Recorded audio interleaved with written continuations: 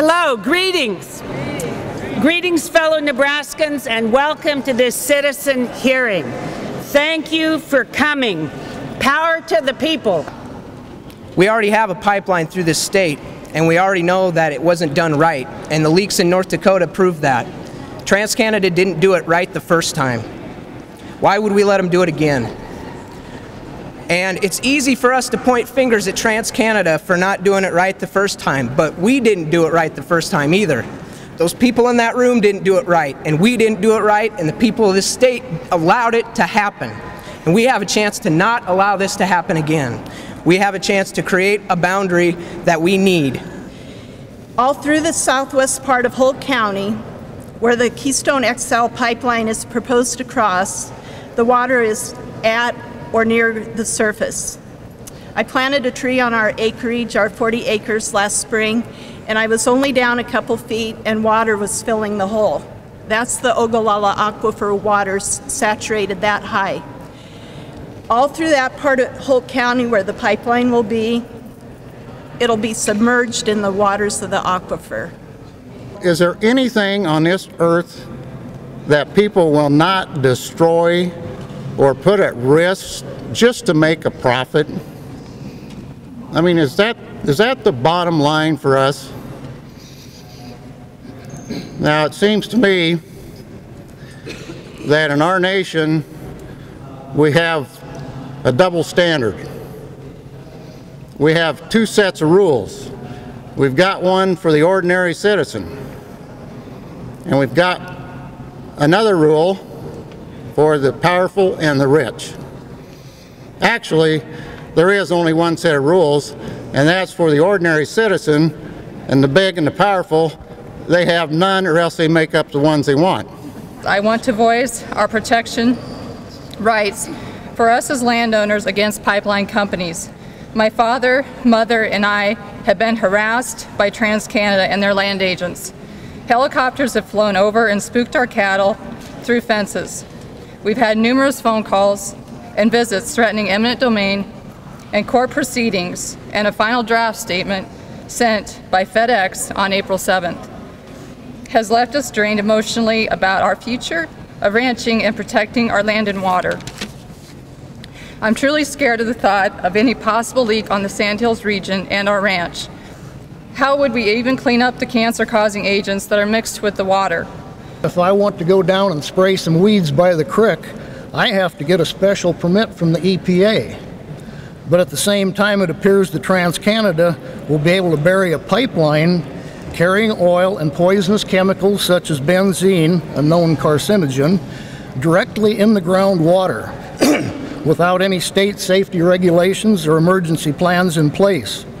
The static water level at my place, as shown in the USGS report, is 6 feet 7 inches. That's not very deep till you hit water. The pipeline company says it will be using all necessary safeguards, but isn't that what BP said before they blew out the oil well in, in the Gulf of Mexico? My ranch has been in the family for over 100 years. And in the 1920s, a huge prairie fire went through our area. My granddad hitched up his team of horses, took the one bottom plow, and plowed what they called a fire break to try to help stop it. Now, a fire break is about four feet wide. And in the last hundred years, with the conservation efforts of, of my granddad, my dad, and continuing to myself and my son, I hope, this fire break has never healed. It still blows every spring when it's dry. I go down, I put hay on it, I feed on it, I seed on it. Baby grass comes up, the wind comes up, the sand goes away.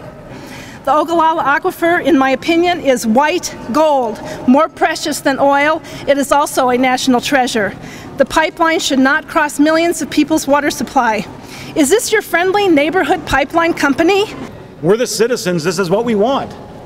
We don't want a TransCanada to control our fate, our water, our resources. That's not what we're about. The risks for this project are known and they are real. The benefits are speculative at best. The TransCanada permit application indicates that a leak rate of less than 1.5% could go unnoticed for 90 days. That translates into 372,000 gallons per day that could be leaked directly into the groundwater before they would know it.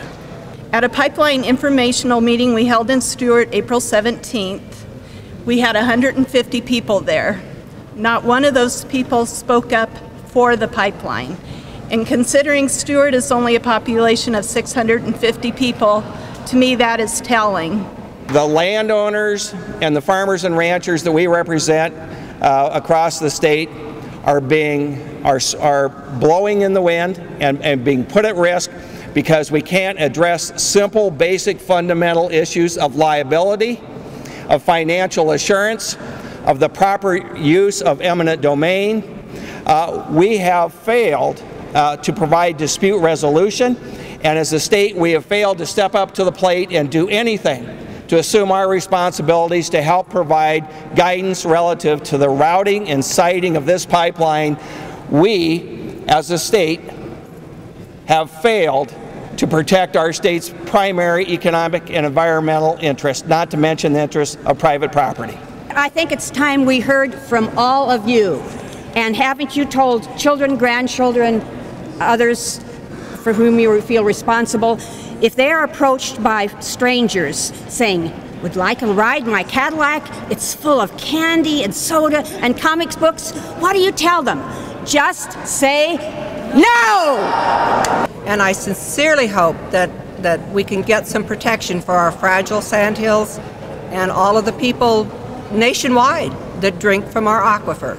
I think that's our last hope is to um, lobby to get in the faces of our officials and say, we don't want this, and what does it take for you to listen to us? As a businesswoman of rarity in the Sandhills, I would not allow my children or any hired help near a contaminated site. I know life happens, and as a rancher, we must always prepare, prepare and be thinking ahead of the game of life. I do not want this pipeline built here or anywhere else, period. I am now asking you to help us in case life doesn't go my way. And they're going to open up the sand hills like you're gutting a catfish on Saturday night.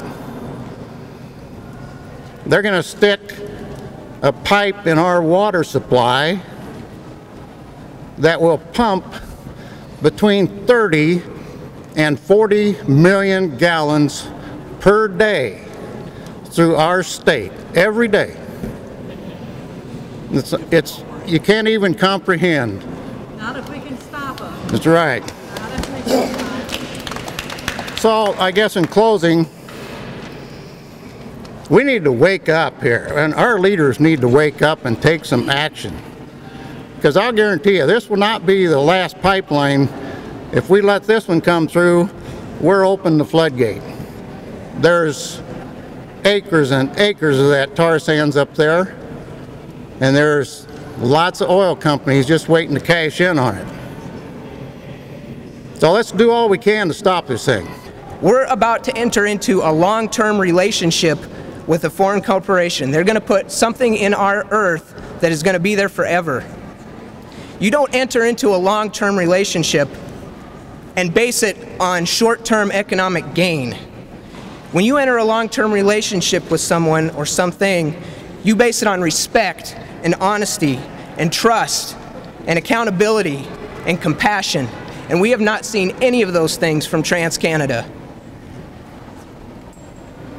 I'm just here to say that I won't allow this to happen in the Sandhills. I won't allow this to happen in the state of Nebraska. I'm going to do something about this, and I hope you all do too. Thank you.